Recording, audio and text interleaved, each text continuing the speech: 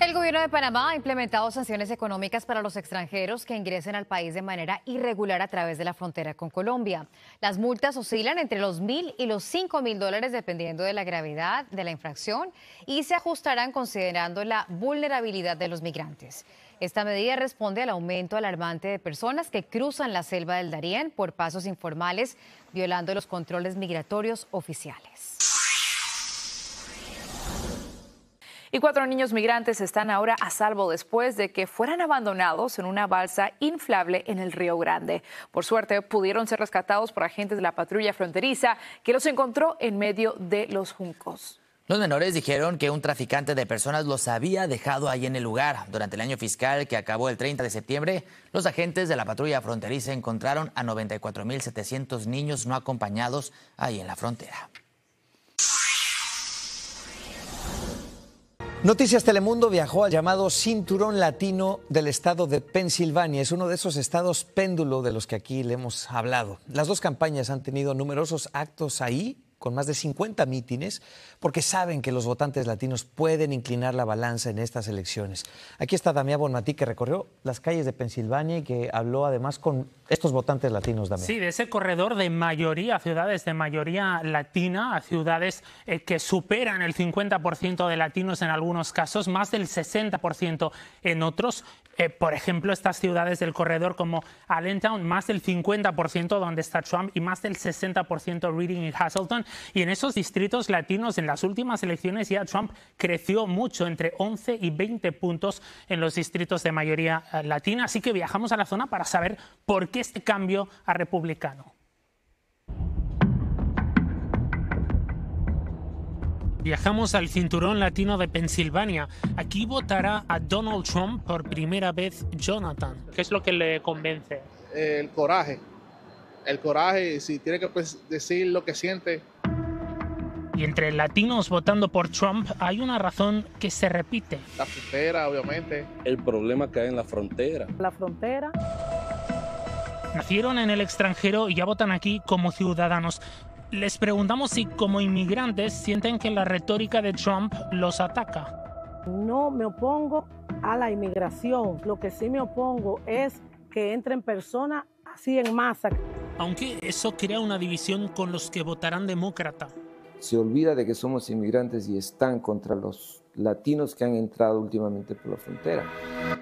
En este taller de autos, cuando hablan de nuevos migrantes, rápidamente aparece la economía. Está difícil conseguir trabajo para los que no tienen ya su documento y aún los que tienen documentos. Es una gran preocupación para los latinos en las encuestas y a la puerta del supermercado saco 200 dólares para comprar y lo llevo en dos bolsitas. Uno dice, wow.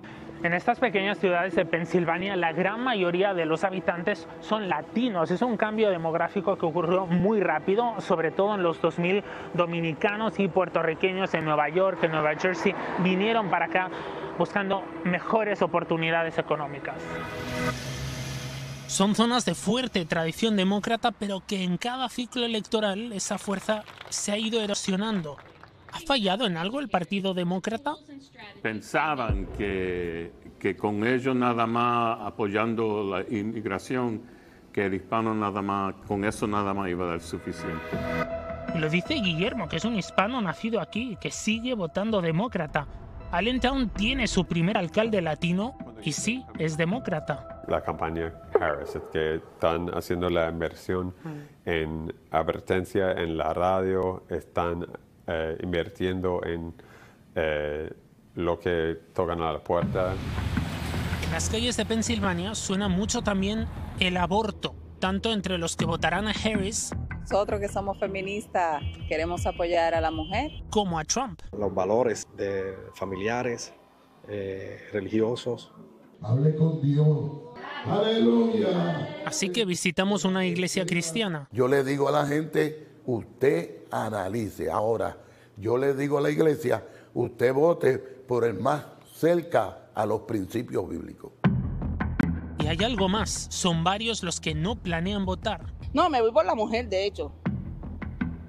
Pero no va a salir a votar usted. No creo. Porque el voto de ella y cada uno de esos votos son indispensables para las campañas y lo sabemos, Julio, porque Pensilvania se eligió, se decidió por unas decenas de miles de votos en, tanto en 2016 como en 2020. Sí, y probablemente lo mismo sucede en esta ocasión, ¿no? Es el estado más importante que más votos electorales da, así que lo que pase ahí es muy importante, Damia. Gracias.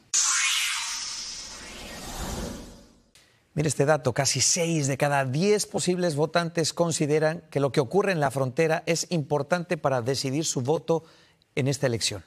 Y a la hora de buscar soluciones al reto en la frontera, republicanos y demócratas a menudo no coinciden. Francisco Cueva recogió las opiniones de residentes en la zona. Es una frontera de 1.254 millas entre México y los Estados Unidos y el hogar de más de 12 millones de habitantes en una zona que se ha convertido en un campo de batalla político desde Brownsville, Texas, hasta San Isidro, California. Under the Trump administration, we will end this migrant invasion. Our system must be orderly and secure. Una encuesta de la cadena CBS muestra que el 58% de probables votantes consideran a la frontera entre México y Estados Unidos como un factor importante en su elección para el próximo presidente del país. Los residentes fronterizos están divididos. Vienen a hacer maldades y, eso es lo que nos preocupa. So, sí necesitamos un balance. Lejos de lo que se diga, voy a tratar, como le digo, de ver quién es lo mejor para, para lo que el país necesita. En los últimos meses la frontera con imágenes como esta ha pasado a ser uno de los temas más discutidos entre políticos y en las calles de todo el país. Y sin lugar a dudas estará en la mente de los votantes a la hora de ir a las urnas este 5 de noviembre. Lo que a mí me sorprendió de esas encuestas fue la aceptación bastante masiva todavía por parte de los americanos de la inmigración legal. Una encuesta reciente de YouGov muestra que un 70% de votantes republicanos incluye la inmigración entre sus tres temas principales, mientras que de acuerdo a la misma encuesta, solo un 15% de votantes demócratas lo considera uno de los principales temas electorales. Yo voy a votar por, el presidente y el candidato que, que respeta a los migrantes. Que hay que ponerle cuidado a lo que tenemos aquí adentro y no distraernos con los que vienen en las fronteras. La misma encuesta muestra que casi siete de cada diez republicanos piensa que el control fronterizo es de suma importancia, seguido de la construcción de un muro fronterizo, mientras que para el 60% de encuestados identificados como demócratas, la prioridad es una vía para la ciudadanía de inmigrantes Julio, como puedes ver aquí, el número de cruces irregulares ha disminuido considerablemente en los últimos meses, desde California hasta Texas, donde me encuentro. Aún así, los posibles votantes continúan insistiendo de que este es un tema de suma importancia y que lo llevará a dar su voto para el mejor candidato. Sea como sea, los los expertos continúan insistiendo de que el voto latino será de suma importancia en estas elecciones presidenciales.